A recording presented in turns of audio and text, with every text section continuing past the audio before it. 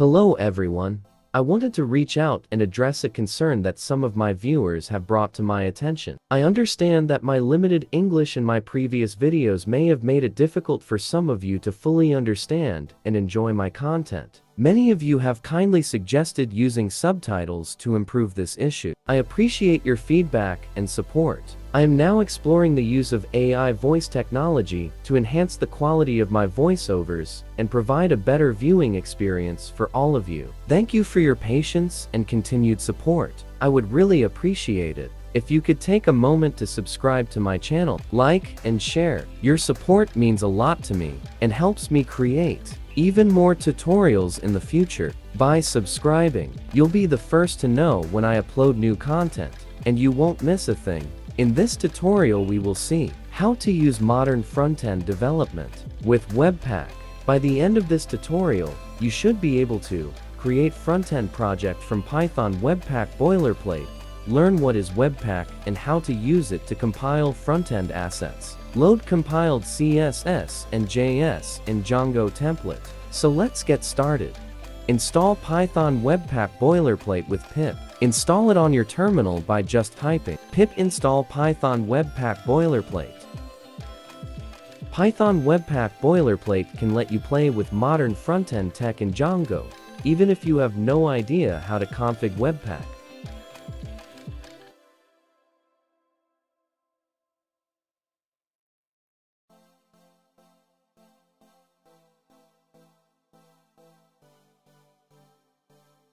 Let's run Django command to create front-end project. On your terminal, just type python manage.py webpack init.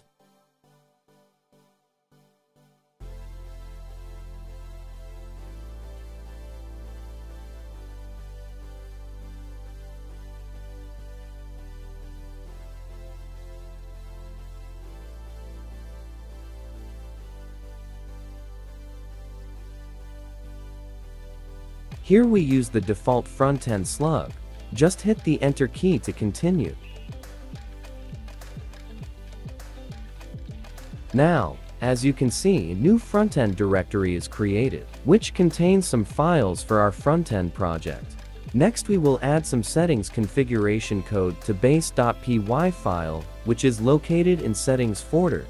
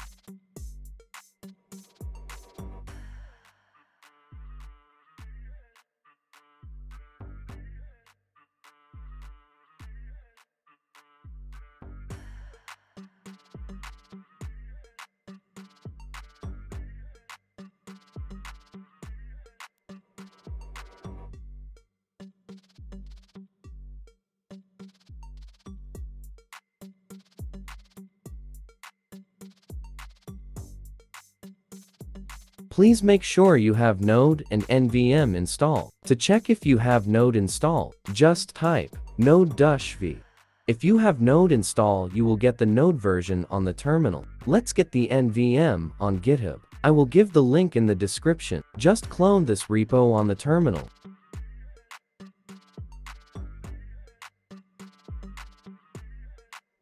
It will take few minutes. That's why I paused the video.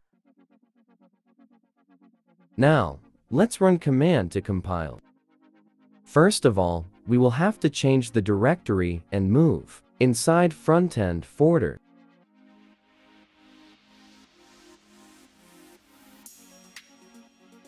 Then we will install npm dependency by just typing npm install.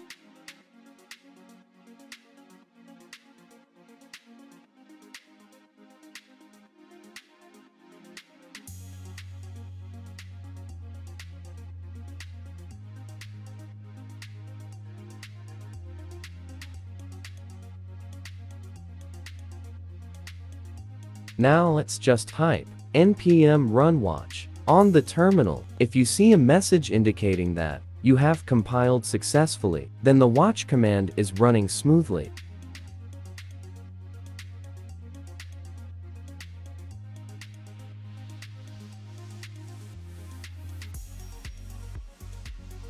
Now press Ctrl C to terminate the npm run watch.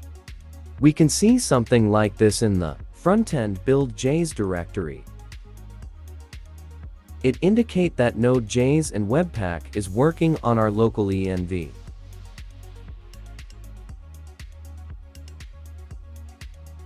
As you know, in the previous chapters, we use files from CDN link in the Wagtail Bootstrap blog template space to make Bootstrap work in our Django project. However, this approach has many limitations, and we cannot customize Bootstrap. Next, I will show you how to build Bootstrap and customize it.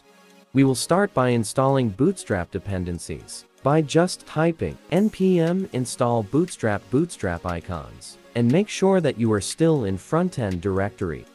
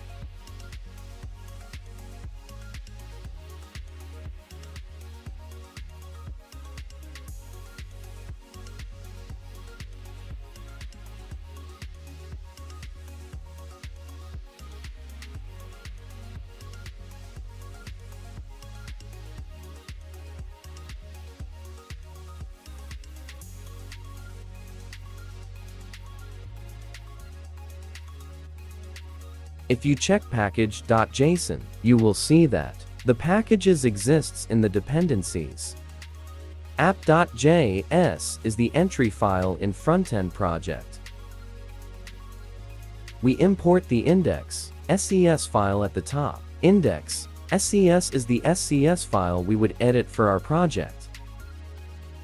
And then we import bootstrap.js bundle file in index, SCS. They are installed by npm install, and they exists in the node modules.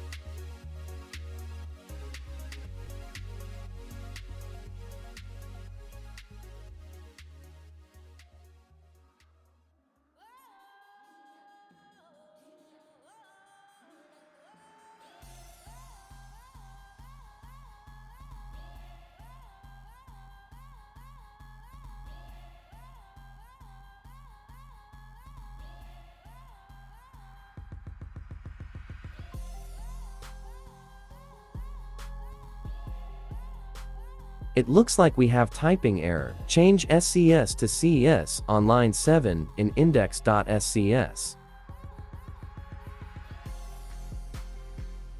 If we do not see any errors, which means our code is working, let's press Ctrl plus C to terminate the npm process. Next, update base file in the template folder of our project. We import Webpack loader at the top. This Django tag come from Python Webpack boilerplate.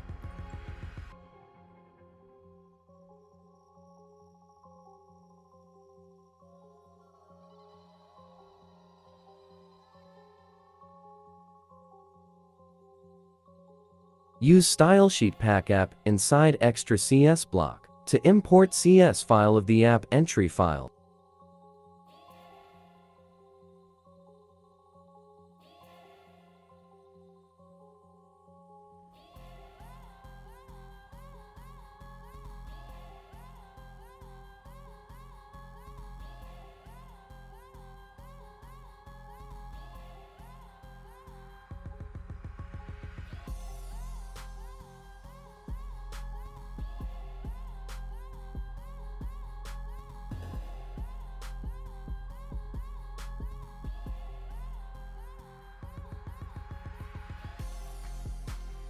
Use JavaScript pack app inside extra JS block to import JS file of the app entry file.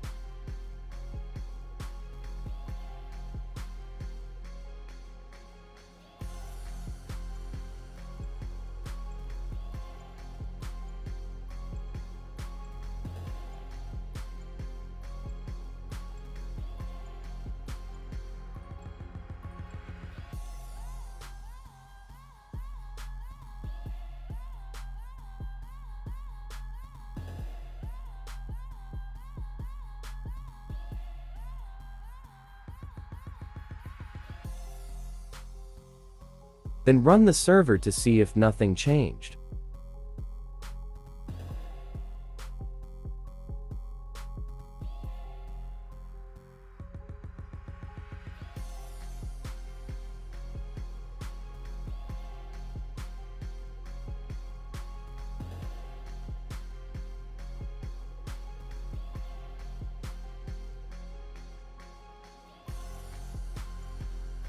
Then follow this link. It looks like we are having a typing error again. Just change from style sheet to style sheet in the extra CS block.